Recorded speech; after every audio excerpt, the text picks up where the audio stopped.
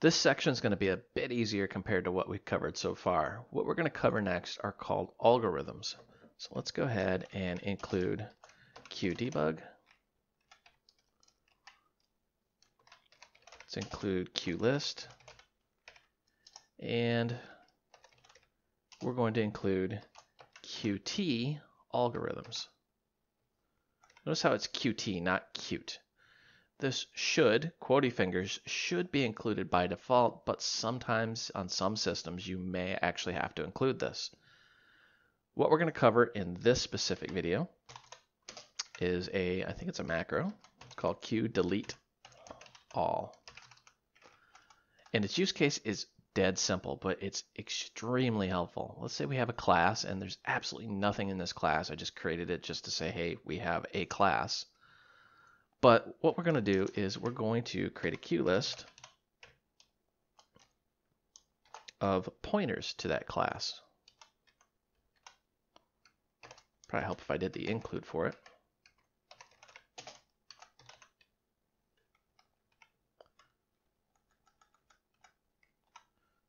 And just give this the ever descriptive name of list. This is a pretty common programming scenario. We're going to have a list of pointers.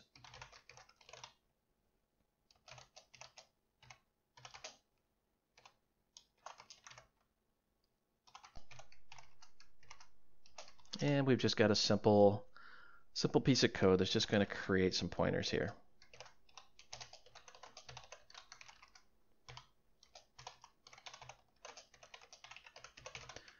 Notice there's no parent, meaning we're just going to create a free-floating pointer out on the heap.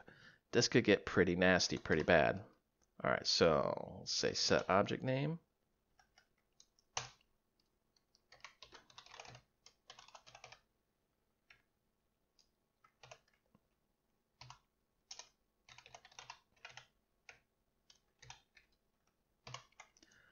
So what typically happens? Well, we run the application, everything runs as expected, and then we close it, and we're relying on the operating system to free up that memory, which may or may not actually happen.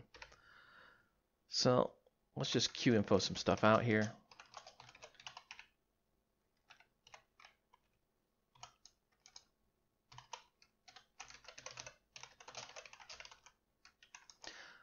Typically what we would do is we would say set a parent or some other memory management technique, but let's just say for the sake of argument, we can't do that for some reason.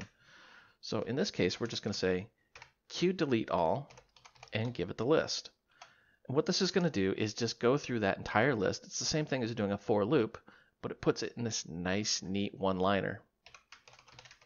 It's going to just delete everything.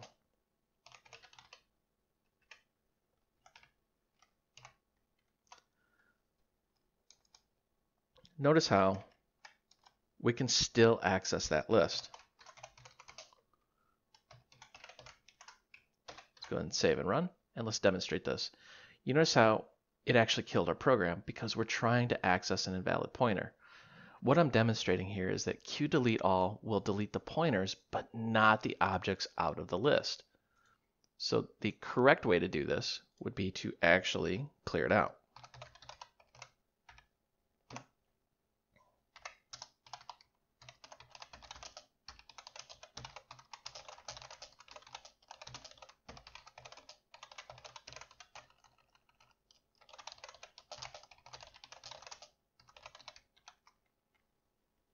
And let's go ahead and comment that out.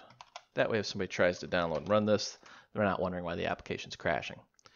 So super short, QDeleteAll just takes a list, deletes all the pointers out of the list, but it's up to you to clear those actual objects out of the list. If you try to access one, it will crash your program, but it's a super simple little macro that lets you just clear out the memory.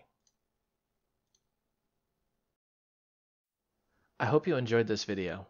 It's part of a video series I have out on udemy.com. This particular video is a follow-on in the intermediate course, but you can start in Qt Core for beginners. And if we just kind of crack this open, it's got a lot of content that'll take you from an absolute beginner that just knows absolutely nothing from hello world all the way up to what are templates, generics, error handling, and classes. This specific video is part of the Qt Core Intermediate class. This picks right up where the beginner's course left off, and we do things like memory management, collections, working with settings, the file system, a lot of file system, compression, serialization, and much, much more.